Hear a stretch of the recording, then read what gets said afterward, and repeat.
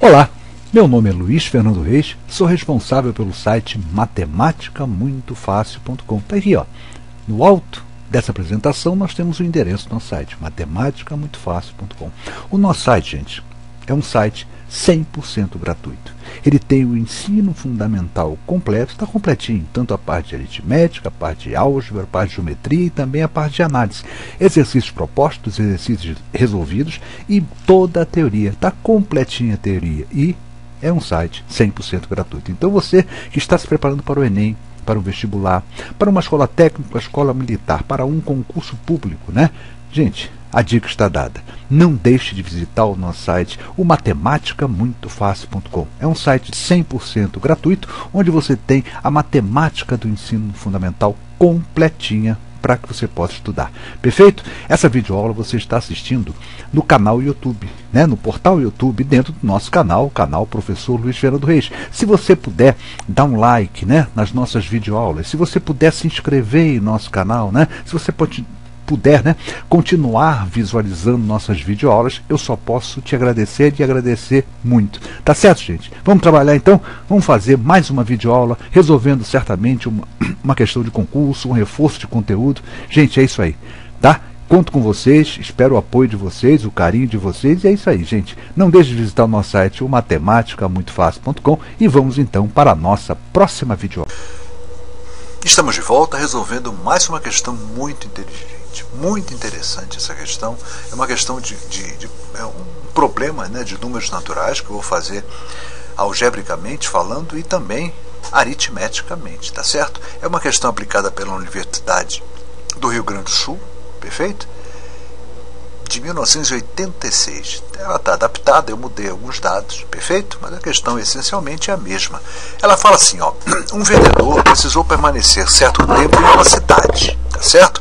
Verificou que se gastasse 40 reais por dia, poderia permanecer na cidade três dias a mais do que se gastasse 45 reais diariamente, quanto o vendedor possuía.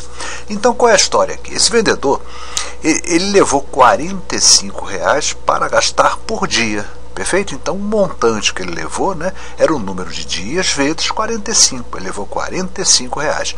Mas ele fez uma continha rápida e percebeu o seguinte: se ele economizasse né, e gastasse apenas 40 reais por dia, ou seja, se ele economizasse 5 reais por dia, ele poderia permanecer 3 dias a mais né, do que se gastasse os 45. Perfeito? Então vamos pensar aqui comigo.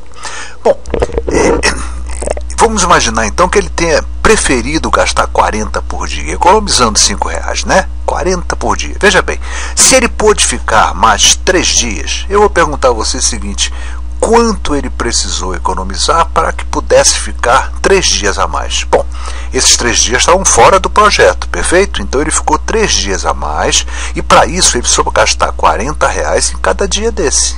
Né? Perfeito? Ele lembra que ele já está economizando, ele já não está gastando 45, está gastando 40. Bom, se ele ficou três dias, gente, ele, ele precisou de ter 120 reais.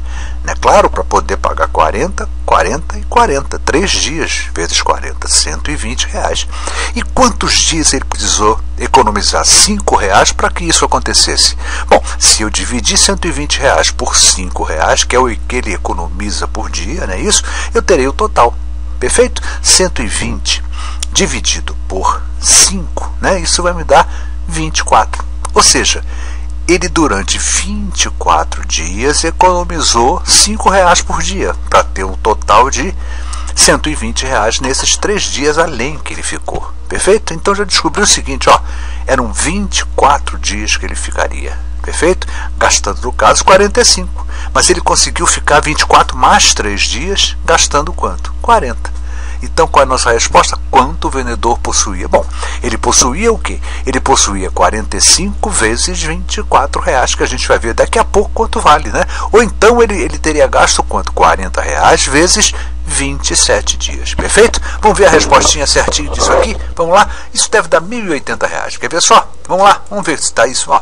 Vamos ler aqui de novo a questão, né? Que eu já expliquei, mas vamos ler de novo. Ó. Se ele optou Se ele optar pela pousada mais barata, ele ficará mais três dias e por isso ele precisou economizar cinco reais a cada dia. Se ele ficou três dias, ele economizou 120 reais, 40 de cada dia, né? Que ele ficou a mais. Perfeito?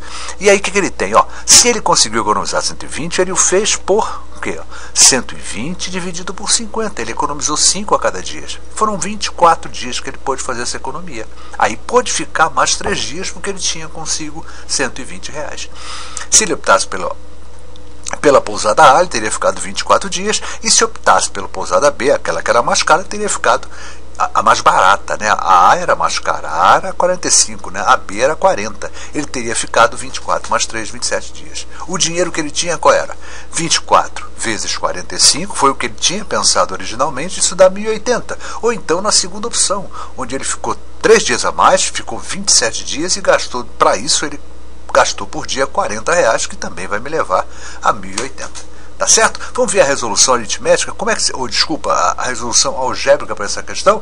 Olha só como é que seria algebricamente falando, né? Bom, a equação 1, olha só, o dinheiro que ele levou era igual a quanto? Ó, o cifrão, tá? Representando dinheiro, é igual a quanto? 45 vezes o número de dias que ele ficaria. Aí ele percebeu que poderia ter uma segunda situação. Então o dinheiro dele, o dinheiro que ele levou, se ele gastasse 40, ele ficaria 3 dias a mais. Perfeito? Então D mais 3 tá certo? E a gente percebe o seguinte: esse dinheiro da primeira situação e o dinheiro da segunda é o mesmo dinheiro, não entrou dinheiro externo, perfeito? O que é que eu concluo? 45 vezes D é o dinheiro, é igual ao dinheiro da segunda opção, 40 vezes D mais 3, perfeito? Ó, 45D é igual a 40D mais 120, fazendo chuveirinho, né? O 40D mais 3 vezes 40, 120.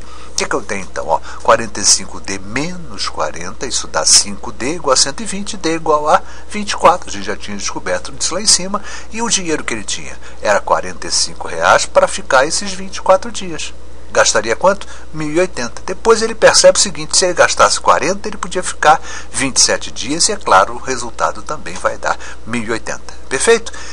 Mais uma questão resolvida e uma questão muito bonita, sem dúvida nenhuma. É uma família de questões né, fantástica. Isso é raciocínio lógico, raciocínio muito bonito, né? Onde a gente raciocina, quer dizer, é aquele negócio, tem momentos que a gente pode fugir um pouco da matemática e tentar solucionar o problema no cotidiano, nos conhecimentos que a gente tem no dia a dia, né? Vocês viram que eu conversei com vocês e a gente usou muito pouca matemática enquanto conteúdo, né? A gente apenas raciocinou. Perfeito então, gente? Bom, mais uma questão resolvida que eles falou, professor Luiz Fernando Reis, responsável pelo site matemáticamuitofácil.com, está aqui o endereço no site, vou levantar um pouquinho, ah lá, matemáticamuitofácil.com, o nosso site, e na descrição do vídeo você terá também o link, basta clicar que você chegará ao nosso site, tá? o matemáticamuitofácil.com. O nosso site é especializado na matemática do ensino fundamental. Então você que é concursando, se prepara para o Enem, vestibular, uma escola técnica, uma escola militar, para um concurso público. Não deixe de aproveitar essa dica, gente. E tem um detalhe importantíssimo: a matemática lá, né? A matemática está completinha do ensino fundamental e tem um negócio importantíssimo, um detalhe importantíssimo. Nosso site é 100% gratuito, tá certo? Então você fica à vontade, livre para estudar quando você quiser, sabendo que você não terá despesa alguma, nem ônus de um, não tem cadastro, não tem senha, não tem área restrita, não. O nosso site nas suas mais de 320 páginas é 100% gratuito. Você está no portal YouTube, está no canal do professor Luiz Fernando Reis. Se você puder se inscrever no nosso canal, vou te agradecer. Se puder dar um like, vou te agradecer. Se quiser deixar um comentário, a gente também agradece. Agora, eu vou te agradecer muito mais se você puder também perder um pouco, alguns minutinhos, né?